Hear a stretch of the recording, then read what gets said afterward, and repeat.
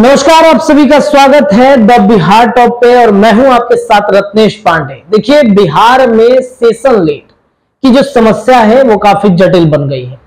छात्र काफ़ी ज़्यादा परेशान है मगध यूनिवर्सिटी हो छपरा विश्वविद्यालय हो या फिर कई यूनिवर्सिटियाँ हैं जिनके सेशन लेट गड़, की गड़बड़ी की वजह से छात्र काफ़ी ज़्यादा परेशान रहते हैं। कई बार वो अपना समस्या लेकर के बिहार के शिक्षा मंत्री सहित कई लोगों से मिल चुके हैं। मुख्यमंत्री को पत्र भी लिखा जा चुका है, बावजूद इसके। इनकी समस्या को नहीं सुना जाता है। जब राज्यपाल थे बिहार के, तब भी छात्रों ने पत्र लिखा था जो पुराने राज्यपाल थे। अब बिहार में नए राज्यपाल आए हैं और नए राज्यपाल आते ही उन्होंने पदभार संभालते ही बड़ी कार्रवाई करनी शुरू कर दी है। अब देखिए, छपरा यूनिवर्सिटी बिहार में सबसे गड़बड़ यूनिवर्सिटी मानी जाती है। इसको लेकर के कितना विवाद हुआ है। कई आंदोलन भी हो चुके हैं। कई तरह की बातें छात्र लगातार कहते रहते हैं छपरा यूनिवर्सिटी के को लेकर के।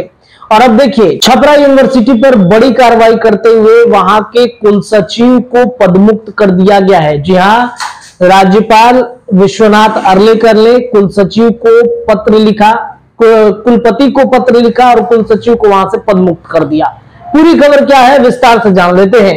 बिहार के नए राज्यपाल सह कुलाधिपति ने बड़ी कार्रवाई करते हुए जयप्रकाश विश्वविद्यालय छपरा के कुलपति को पत्र लिखकर वहाँ के कुल सचिव डॉक्टर रवि प्रकाश बबलू को पदमुक्त कर दिया है। राज्यपाल के प्रधान सचिव रॉबर्ट एल चोंगू ने 17 मार्च जयप्रकाश विश्वविद्यालय छपरा के कुलपति को पत्र लिखा। पत्र में कहा गया कि नए कुल सचिव की नियुक्ति होने तक अपने स्तर से वैकल्पिक व्यवस्था सुनिश्चित करे। जानकारी है कि इन पर भ्रष्टाचार का आरोप है। सात विश्वविद्यालय के कुल सचिवों के कार्य के रूप के लिए वैकल्पिक बना व्यवस्था करने का निर्देश दिया है। एक और पत्र में राज्यपाल के संयुक्त सचिव प्रवीण कुमार गुप्ता ने राज्य के सात विश्वविद्यालय के कुल सचिवों के सभी प्रकार के कार्यों और कर्तव्य निर्वहन पर रोक लगा दी है।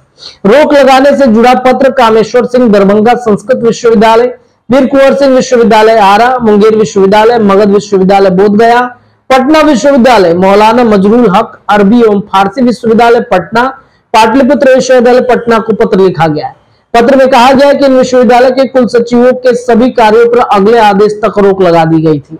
उक्त आदेश पर आगे का निर्देश प्राप्त होने तक अपने स्तर से वैकल्पिक व्यवस्था करना सुनिश्चित करे, ताकि विश्वविद्यालय का प्रशासनिक और शैक्षणिक कार्य सुचारू रूप से चलता रहे। कुलपति को यह भी निर्देश दिया गया है कि जिन्हें वैकल्पिक व्यवस्था के रूप में लाया जाए, वे एसोसिएट प्रोफेसर से कम ना हो, जिनके विरुद्ध कोई विभागीय कार्रवाई संचालित या गंभीर आरोप न लगे हो।